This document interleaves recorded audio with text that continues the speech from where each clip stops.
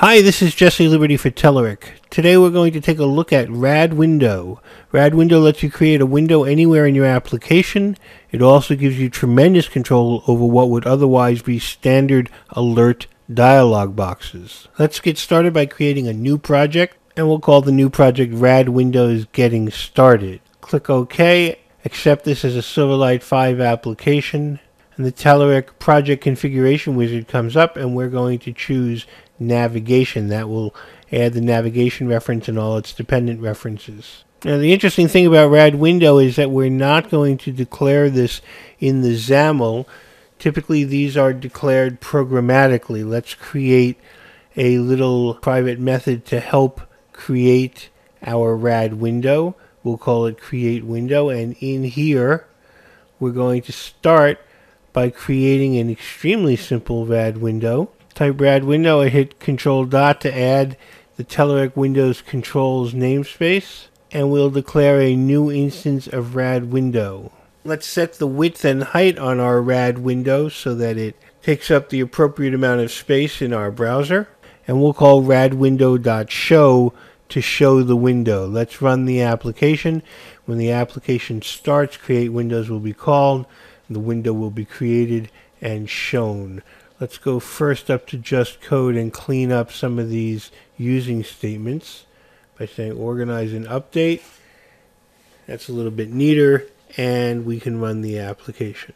The window comes up and you can see that you can relocate the window and you have buttons to close, maximize, and minimize the window and also to restore it once it's minimized. That's about as minimal a rad window as we can get. Let's see if we can add some content to that window.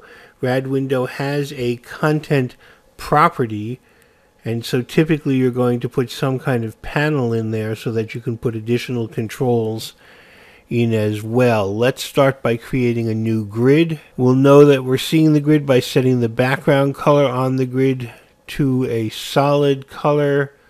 And in this case, I'm going to opt to make that background color blue. With that in place, we have a grid. It has a background. We're ready to add that to our window. So we're going to set the content property of the rad window to the grid and run the application. As you can see, our new blue grid is fully filling our rad window. And if I can just grab this with the cursor, we can still move that window around, close it, open it, and so forth. Once we have a grid or other panel in the content of our rad window, we can put in virtually anything we like to get an example of what that would involve. We're going to create a text block. Let's set the foreground for the text block, set the foreground color to white, and then set the text in our new text box to hello world. We'll now add that text block to our grid control which of course is the content for our rad window and so that text will show inside the grid which is inside the window and you can extrapolate from this that you could add any controls you wanted to that grid or additional panels as well. I hope you've seen how very easy it is to set up Rad Window and get started adding content to a Rad Window.